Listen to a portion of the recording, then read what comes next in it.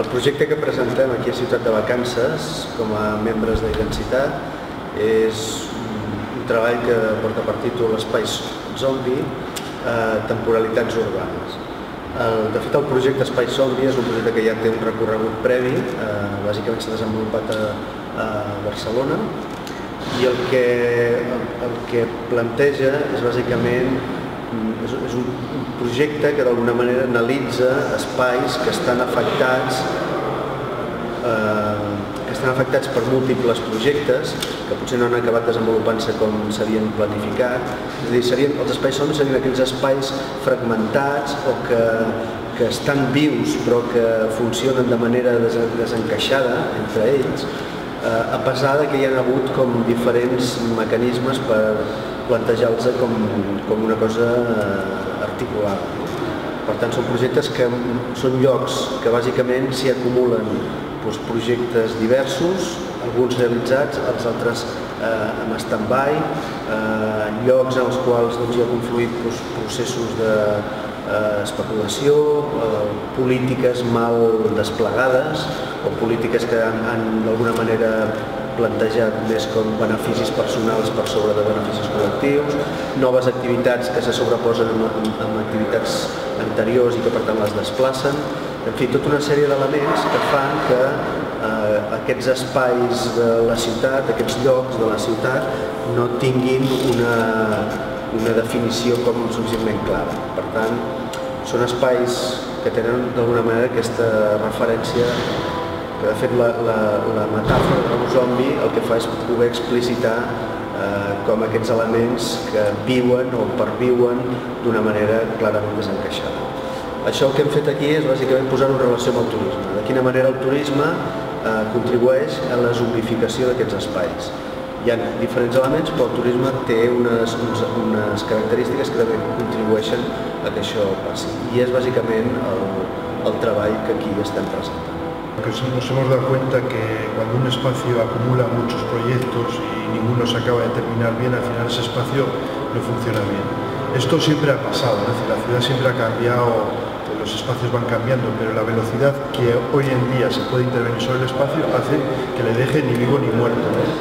Y esto también ha sido una de las cosas que hemos notado mucho en Palma de Mallorca, ¿no? decir, que, que muchos, sobre todo estos espacios de temporada, que no están ni vivos ni muertos, están en una situación como de espera, ¿no? es decir, al ser resucitados, y ese tiempo, digamos, es un tiempo que es el que finalmente se fija espacio zombie, ¿no? es decir, esa, ese, ese, ese, tiempo y esa velocidad, ¿no? es decir, la velocidad de cambio que puede hacer que un espacio se vuelva zombie, se vuelva un poco desarticulado. No?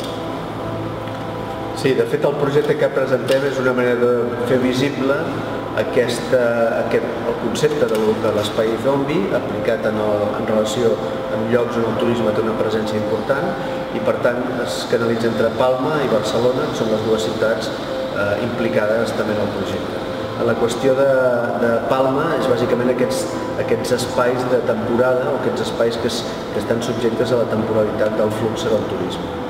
Per tant, en el moment que el turista, en aquests períodes que el turista no hi és, es desactiven i, i es reorganitza la vida d'una altra manera. No? Per tant, moltes d'aquestes imatges fan referència a aquests llocs sense aquesta presència clara del, del, de la, del turista, de la, de la massa turística que l'invaeix. Eh, en el cas de Barcelona, aquesta temporalitat no està tan evidenciada, eh, probablement perquè té un turisme que es manté al llarg de l'any d'una manera més, més clara eh, i per tant el que hem fet és focalitzar el que seria l'urbanisme de temporada o la urbanització de la ciutat en períodes de temporalitat més amples.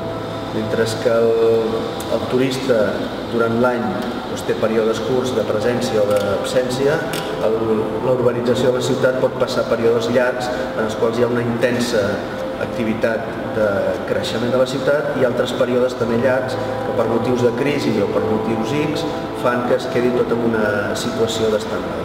Això és el que intenta reflectir. Bàsicament els espais de Barcelona i de Mallorca eh, o de Palma o dels entorns de la ciutat eh, no tenen una... No, no es difereixen clarament a no ser que identifiquis alguns dels... que hi ha, hi ha com una similitud bastant continuada a pesar que un parlen d'una cosa i els altres d'una altra. El treball es complementa amb un element que anomenem eh, glosari, glosari dels espais zombi. És un glosari que també s'ha que el que fa és explicitar quins elements fan que aquesta relació entre el turisme eh, i la, la interacció amb l'espai urbà eh, poden produir o poden accelerar els processos de zombificació de l'espai. Per tant, és una manera de, de fer evidents els conceptes que hi ha a darrere de la, de la teoria aquesta o, del, o de la conceptualització de l'espai zombi eh, per fer d'una manera més clara o ajudar a entendre quins són, com es poden desgranar i com cada un d'aquests elements tenen una certa relació amb el turisme.